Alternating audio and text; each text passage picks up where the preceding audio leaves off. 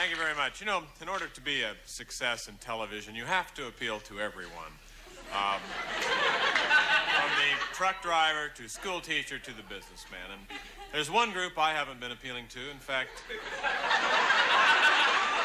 not many performers have even tried to appeal to them dogs. Of dogs watch TV, and there's nothing really on that they can enjoy. Um, maybe a couple of commercials, and that's about it. So I've worked up a comedy act for dogs. Now, I know that sounds sort of ridiculous, but I tried the act on some neighborhood dogs, and they were on the floor. With the cute little doggy laughter.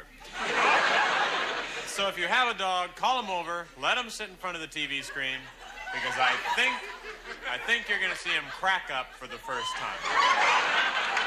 So I'll wait just for a second while you call your dog over.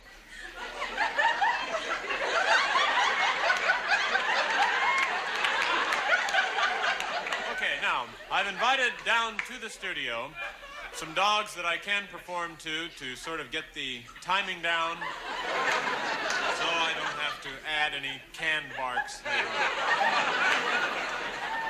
So here we go, my comedy act for dogs. Well, good evening, poodles and collies. Got kind of a funny story for you. You know, it was raining cats and dogs the other day. I know because I stepped in a poodle.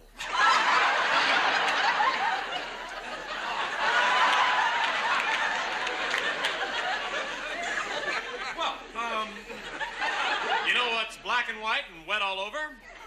A newspaper.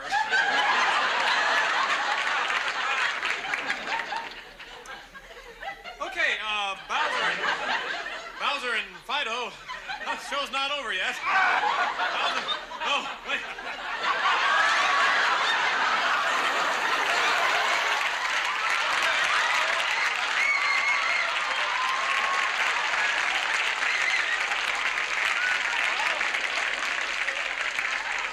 Well, could I have a volunteer? How about you, sir? well, where are you from? Oh, Canoga Park.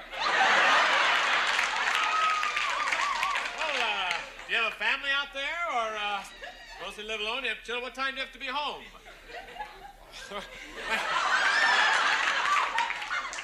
Maybe he can't tell me because I have his watch.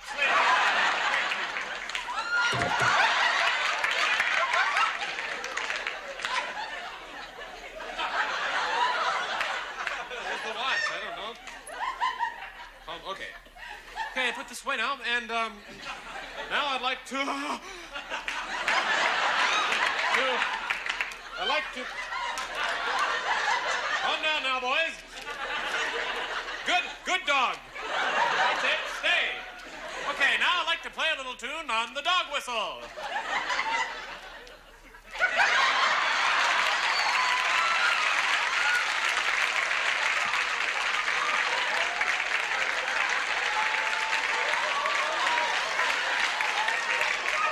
Ultra high frequency, only the dogs can hear.